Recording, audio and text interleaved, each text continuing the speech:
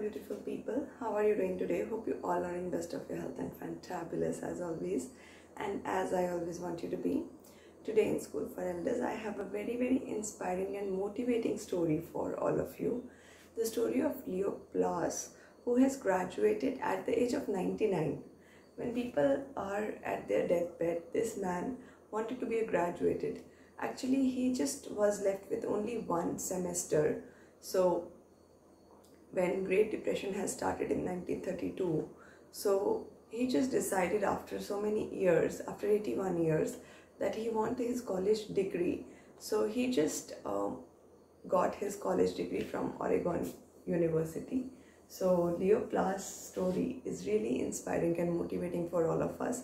If anyone really want to go through, they can go through the link in the description box. And today I have a very very beautiful wellness mantra on self-love self love is cleaning your mind also and cleaning happening when you clean something outside.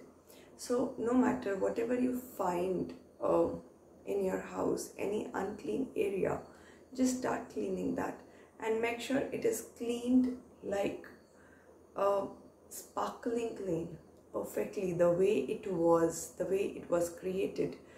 Uh, it has a deep connection with your psychology when you clean something outside you clean something inside yourself also.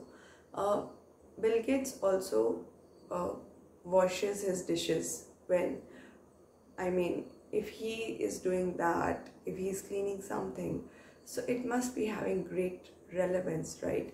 So any unclean drawer eh, a drawer i mean start with one.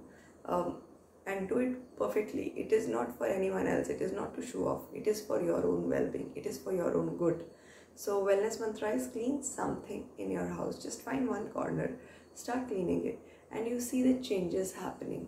And if you do this with more often, your aura, your body will start getting cleansed, right? So, this is my wellness mantra, and uh, please share the story, inspirational story, with someone who really needs that.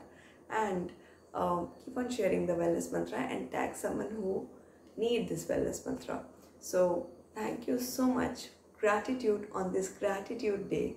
Uh, keep on writing your gratitude journals and keep on writing gratitude. And see you tomorrow. Bye bye take care